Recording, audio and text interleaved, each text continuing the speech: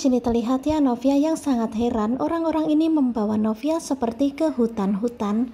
Tentu saja Novia sangat bingung ya sebenarnya apa mau mereka dan apa yang akan mereka lakukan.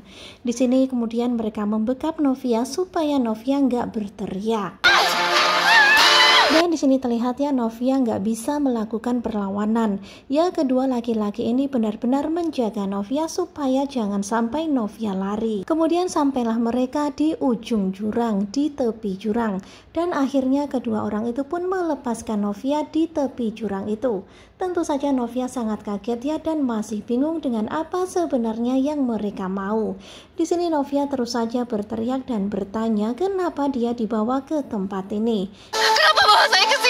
Tentu saja bingung banget ya Novia nggak pernah ke tempat ini. Dia sangat bingung apa sebenarnya yang orang ini mau. Dan ternyata dua orang ini salah satunya adalah Michael. Michael sengaja membawa Novia ke sini supaya Novia teringat akan kejadian satu tahun lalu sesuai analisa Michael. Padahal itu hanyalah analisa atau halunya Michael. Jangan mendekat. Di sini sepertinya Michael benar-benar percaya sama halusinasinya kalau Novialah yang telah mendorong Kunto ke dalam jurang itu. Ya, Novialah yang mendorong papanya. Padahal dugaan-dugaan itu hanyalah pikirannya Michael yang tanpa bukti. Sementara itu di sini terlihat Novia yang sudah berada di tepi jurang. Ya tentu saja Novia pun ketakutan ya karena ketika dia menoleh ke arah belakang ternyata di belakangnya adalah sebuah jurang yang sangat dalam. Dan tentu saja Novia pun menangis ya menangis ketakutan.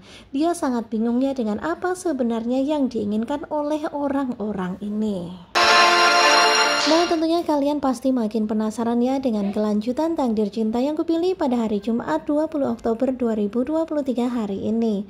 Simak kelanjutannya hanya di SCTV dan jangan lupa terus dukung Gugu Coba.